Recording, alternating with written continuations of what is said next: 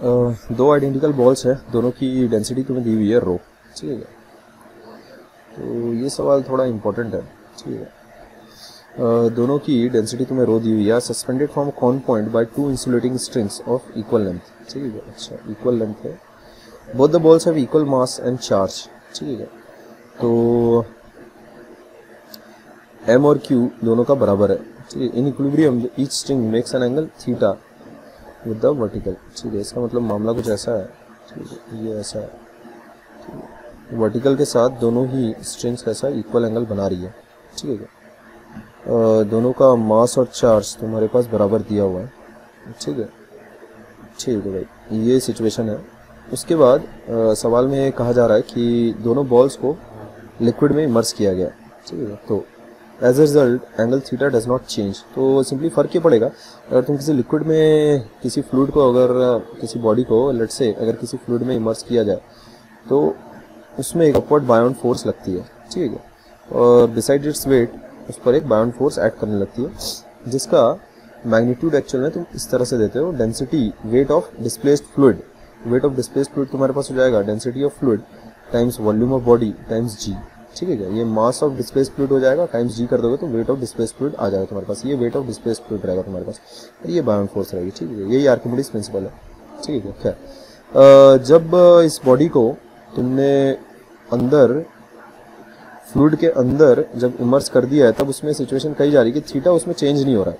ठीक है तो फोर्सेस उस टाइम पे उस पर सिर्फ़ और सिर्फ़ बायोन फोर्स नई फोर्स लगना शुरू हो गई होगी। खैर तो इनिशियली जब उस बॉडी को इमर्स नहीं किया गया है तब उसका एफ़ कुछ इनिशियली और फाइनली दोनों केसेस में उसका एफबीडी हम बना लेते हैं ठीक है इनिशियली कैसा उस पर फोर्सेस क्या क्या लगेंगी तुम्हारे पास? ये तो एक टेंशन तो लगी रहा होगा।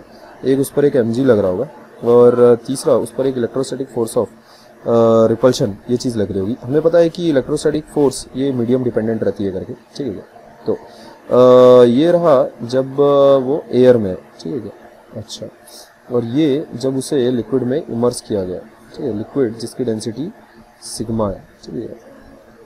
तो उसका एफबीडी अगेन ऐसे ही सेम टू सेम बनेगा, ठीक है, ये एफ़ और ये एम जी बिकॉज़ तुम्हें दिया हुआ है कि ये वाला एंगल कैसा चेंज नहीं होता, ये एंगल दोनों ही केसेस में चेंज नहीं हो रहा।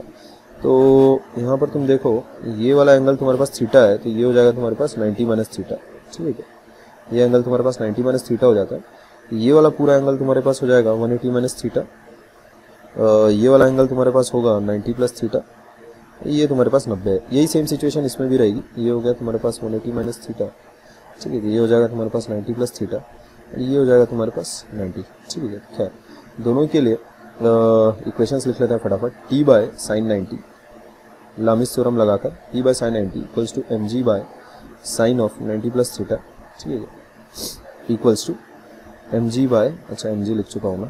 ठीक है, ये हो जाएगा F by sine of 180 eighty minus theta ये एयर वाले के लिए लिखा है मैंने। अ, अब इसके लिए लिख लेता हूँ।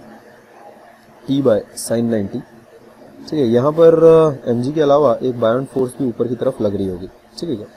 तो नीचे की तरफ़ एक्चुअल में फोर्स उस पर लग रही होगी। एम जी माइनस बी ठीक है क्या? तो ये वाला बी को एक्चुअल में तुम ऐसे लिख सकते हो m g minus B that would be rho V g minus sigma V g ये होगा बायोन फोर्स और ये हो गया एम जी ठीक है तो यहाँ पर भी एम की जगह एक्चुअल में तुम ये वाला काम कर सकते हो। ठीक है, इसको ऐसा मत लिखकर, ऐसा ना लिखकर इसको रो वी जी लिखो। ठीक है तो T by sine ninety plus theta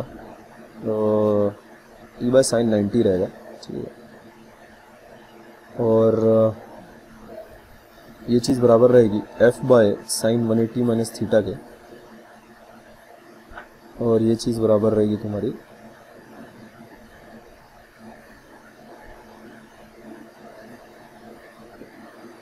equation फिर से लिख लेते हैं। T by sine ninety equals to F by sine one eighty minus theta equals to rho V g minus sigma V g divided by sine ninety plus theta ये situation रहेगी तुम्हारे पास। ठीक है। ये साइन नाइन्टी प्लस थीटा ये situation रहेगी तुम्हारे पास खैर तो इन्हीं दोनों इक्वेशंस को थोड़ा सा रीअरेंज करके अगर हम लिखें तो T equals to rho V g divided by cos theta equals to F by sine theta ठीक है, ये पहला और दूसरी इक्वेशन तुम्हारे पास ये वाली आ जाएगी।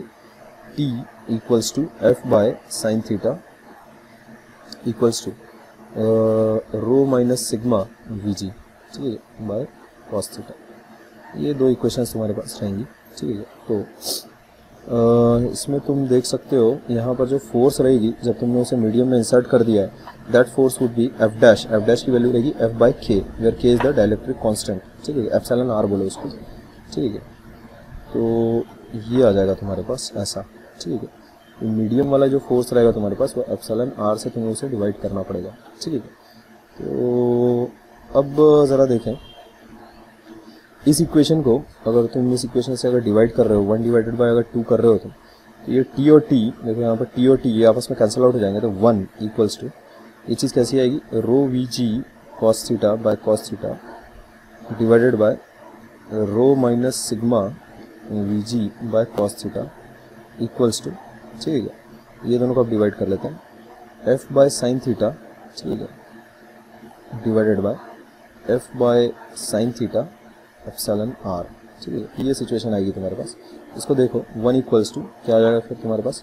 रो, ये V g by cos theta V g by cos theta तुम कैंसिल आउट कर सकते हो। Rho by rho minus sigma that would equal equate to F by sine theta F by sine theta cancel out हो जाएँगे, और ये आ जाएगा तुम्हारे पास एप्सलन आर तो इससे एप्सलन आर की वैल्यू हो जाएगी तुम्हारे पास, rho by rho minus sigma ठीक ठीक।